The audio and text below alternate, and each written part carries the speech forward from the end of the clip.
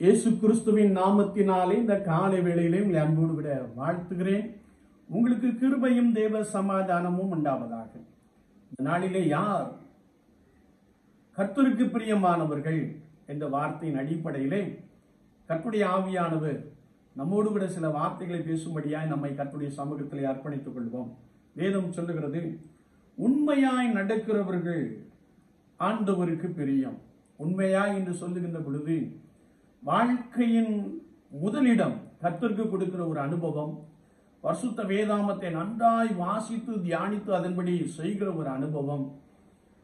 கற்புடைய சமூகத்திலே காத்திருக்கிற ஒரு அனுபவம். கர்த்தருக்கு பிரியமானது என்னது என்று சோதித்து பார்த்து நடக்கின்ற ஒரு அனுபவத்தை உடைய மனிதன் மீது கர்த்தர் பிரியமாக இருக்கிறார். அது மாத்திரமல்ல செம்மையானவர்களாய் வாழுகின்ற பொழுது ஆண்டவர் நம்மேல் பிரியம் வைக்கிறார். வேதம் சொல்லுகிறது செம்மையானவர்கள் செபமோ கர்த்தருக்கு பிரியம். நீதியும் நியாயமும் செய்பவர்கள் மீது கர்த்தர் பிரியமுடையவராக இருக்கிறார். அது மாத்திரமல்ல மிக குறிப்பாக துன்மார்க்கன் தன் வழிகளை விட்டு மனம் திரும்பி பிழைப்பதே அவருக்கு பிரியம் என்று வசனம் சொல்லுகிறது.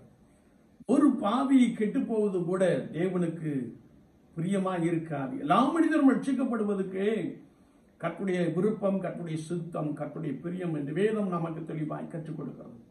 என்னை கேட்டுக்கொண்டிருக்கிற என் அன்பு சகோதரனை சகோதரியே இந்த புதிய நாளிலும் கர்த்தருக்கு பிரியமானது என்னதென்று பாருங்கள். அவருடைய வழியிலே உற்சாகம் கொள்ளுங்கள். அவருக்கு முன்பதாக உண்மை உள்ளவர்களாய் செம்மை உள்ளவர்களாய் நீதி நியாயம் செய்கிறவர்களாய் காணப்படுங்கள். கர்த்தர் உங்களை மாத்திரமல்ல உங்கள் சந்ததிகளை இந்த பூமியிலே பலத்திற்கு பண்ணுவார் ஆசிர்வதிப்பார். நாம் செபிப்போம் நேசிக்கிற நல்ல ஆண்டவரே இந்த புதிய நாளுக்காய் ஸ்தோத்திரம். வார்த்தைகளை கேட்டவர்களுக்காய் ஸ்தோத்திரம். பலப்படுத்தும்.